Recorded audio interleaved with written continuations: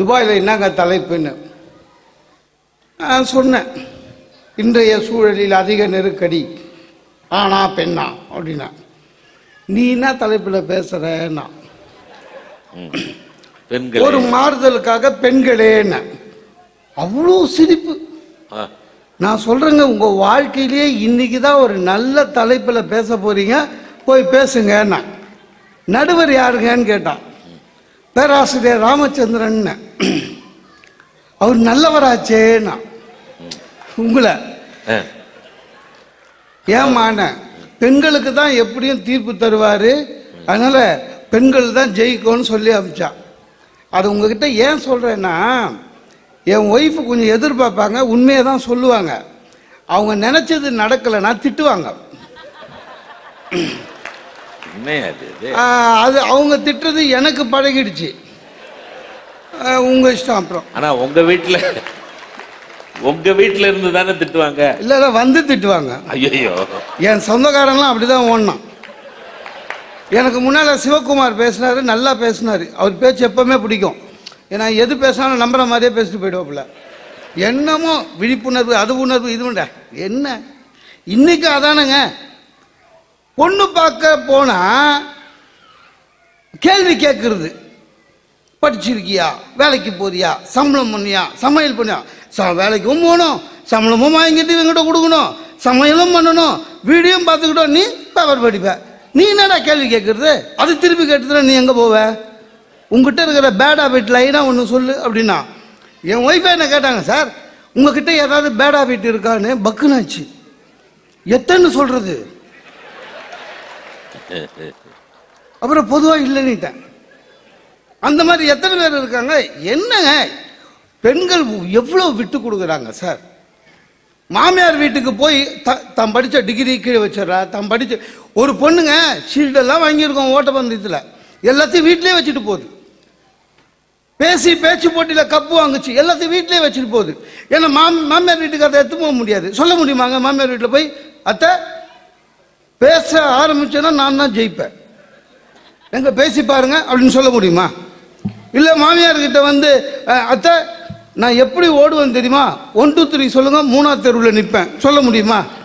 சொல்ல முடியாது. அந்த மாதிரி தான் பெண்கள் ரொம்ப பாவங்க. ஒரு பொண்ணு கல்யாணம் ஆகி மாமனார் வீட்டுக்கு போச்சு அவங்க அத்தை அவங்க மாமியார் கையை பிடிச்சி இழுத்து போனான்.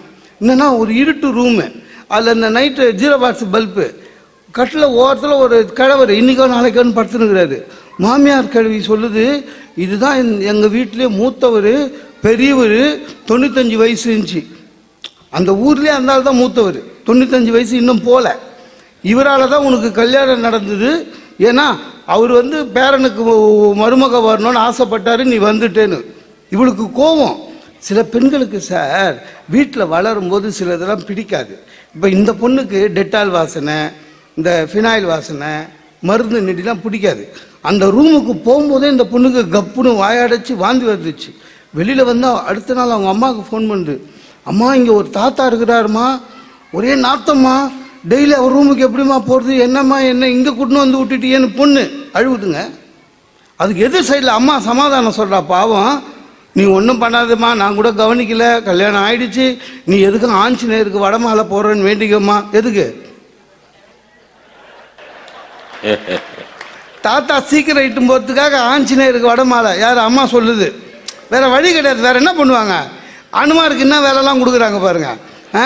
அது இந்த பொண்ணோட குணம் சார் எவ்வளோ பிரச்சனை தன்னை மாற்றிக்குது ஆறு மாதம் கழிச்சு அதே பொண்ணு அதே அம்மாவுக்கு ஃபோன் பண்ணுது அம்மா அந்த தாத்தா இப்போ என்னை பார்த்தவொன்னே அடையாளம் தெரியுதுமா உள்ளே போனோன்னு கூப்பிடுறாருமா தலையில் கை வச்சு என்னை ஆசீர்வாதம் பண்ணுறாருமா அதே பொண்ணு.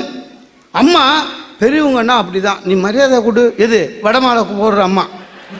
மரியாதை கொடு அப்படின்னாங்க. அப்படிதாங்க. ஆம்பளைங்க எதுக்காவது ஒன்று லாய்க்க சார் வீடு பார்த்துக்க முடியுமா சார்? இந்த பெண்களை வந்து அம்மா வீட்டுக்கு போனால் என் பொண்டாட்டி ஊருக்கு போயிட்டா? அதெல்லாம் சும்மா ஒரு நாள் தான். அடுத்த நாள் சாப்பாடு பசி எடுத்தால் தான் தெரியும் அது அருமை. ஒரு ஒழுங்கு கிடையாது. ஒரு நாள் ஜாலியாக இருக்கும். என்ன? டவல் எடுத்து கொடியில் போடுங்க. இதை எடுத்து அங்கே வைங்க. பேஸ்ட் எடுத்து அங்கே வைங்க. ஒரு குரல் கேட்காது. ஏன்னா நம்ம ஆளுங்க லுங்கி அழுத்தானா அதை எடுத்து கொடியில் கூட போட மாட்டான். அந்த ரவுண்ட் அப்படியே இருக்கும். அப்படியே வெளில போவோம் ஆபீஸுக்கு போயிட்டு வந்துட்டு அவனே ரவுண்டுக்குள்ளே வந்து அப்படியே இழுத்து போட்டுருவான். நம்ம என்னைக்கு ஒழுங்கா இருந்திருக்கோம்? இல்ல. ஆமாங்க ரிமோட் கண்ட்ரோல் ஒரு ஆம்பளை கிட்ட கொடுத்து பாருங்க. ஒரு சேனல் ரெண்டு நிமிஷத்துக்கு மேல பார்க்க மாட்டான். உம்.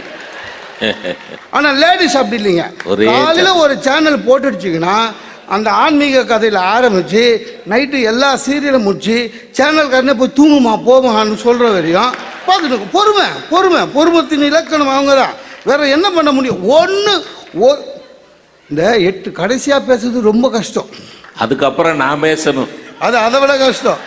சார் பொம்பளை ஒரு புருஷன் குடிக்கிறான்னு தெரிஞ்சிச்சுங்க.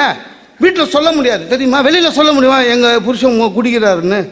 அவமானம். எவ்வளோ நெருக்கடி? பார்க்குறவங்களாம் நம்மளை கேள்வி கேட்பாங்களேன்னு. அன்னைக்கு ஒரு பொண்ணு பையன் கேட்குறான் யார்? அவங்க தம்பி. அக்கா மாமா குடிப்பாராக்கா? அப்படின்னா இவ பக்குன்னு ஆயிடுச்சு. குடிக்கிறான். ஆனால் அம்மா வீட்டுக்கு சொல்ல முடியாது. இல்லையா இல்லைப்பா. என் ஃப்ரெண்ட்ஸு நேற்று பாரில் பார்த்தேன். அவன் எம்என்சி கம்பெனியில் வேலை செய்கிறான் அவனுங்க ஐம்பது நூறு பேர் அங்கங்கே பாரில் இருப்பானுங்க. அவனுங்க யாரோ பார்த்துட்டு இருக்கிறானுங்க. ஆ குடிப்பாராக்கான்னு. இவன் பெருமையாக சொல்ல முடியுமாண்ணா? உங்கள் மாமா யார் தெரியுமாடா? ஆறு ரவுண்டு அடிச்சாலும் அசங்காமல் வருவார். ஓ அதான் சொல்ல முடியுமா? இல்லைடா என்னைக்காவது ஒரு நாள்டா ஃபங்க்ஷன்டா கஷ்டங்க நெருக்கடியை எவ்வளோ சமாளிக்கிறா பாருங்க. சார் ஒரு பொண்ணு வேலைக்கு போன பொண்ணுங்க அதுக்கு என்ன பண்ணிட்டான் கம்பெனியில் இந்த மாதம் இந்த இந்த வருஷம் மார்ச் எட்டாம் தேதி பெஸ்ட் விமன் அவார்டு கொடுத்துட்டான். யார்? கம்பெனிக்காரன். அது பெஸ்ட் விமனா இல்லையான்றது அடுத்த விஷயம். அவன் ரொட்டேஷனில் இருக்கிற பொம்பளைக்கு ஒவ்வொரு வருஷம் ஒவ்வொன்று கொடுக்குறான். ஆமாம் நாற்பது பொம்பளை இருக்கு. ஒன்று வாங்குச்சுன்னா ரெண்டாவது வாட்டி ரவுண்டில் வர்றதுக்குள்ளே ரிட்டையர் ஆகிடும் அந்த பொண்ணுக்கு கிடச்சிருச்சு ஏதோ கிடச்சிருச்சு வீட்டுக்கு எத்தும்போது அந்த மாமியார் வைக்கக்கூடாது இருந்து. ஏன்? இவன் கொடுத்தானே. அவார்டோட என்ன பண்ணிட்டான் ஒரு புத்தர் சிலையை கொடுத்துட்டான். அது எத்தும் போச்சு. மாமியார் சொல்லுது புத்தர் சிலை வீட்டில் இருக்கக்கூடாதுன்னு. அதுக்கு தகராறு. எந்த விதமான உயர்வு அடைய வேண்டும் என்றாலும் கூட மாமியார் வீட்டில் சிக்கல். பெற்றோர் வீட்டில் சிக்கல். ஆனால் ஆஃபீஸில் நல்லா வேலை செஞ்சு ப்ரொமோஷன் வாங்குறாங்க சார். நம்மால் ஆஃபீஸுக்கு வந்தவொடனே கேண்டீன் போய் சிகரெட் குடிக்கிறவன். ப்ரொமோஷன் பொம்பளை வாங்கினா பத்தியா? நான் சொல்ல ஜிஎம் பொம்பளை பொறுக்கின்னு. ப்ரொமோஷன் அது கொடுத்துக்குறான் பா டேய் ப்ரொமோஷன் வேலையை பார்த்து கொடுக்கலடா. லிப்ஸ்டிக்கை பார்த்து கொடுக்குறானுங்க இப்போ இதெல்லாம். ஆனால் பெண்கள் அப்படி இல்லை பொறுமைசாலிகள். பெண்கள் இல்லை என்றால் வீடு வீடாக இருக்காது.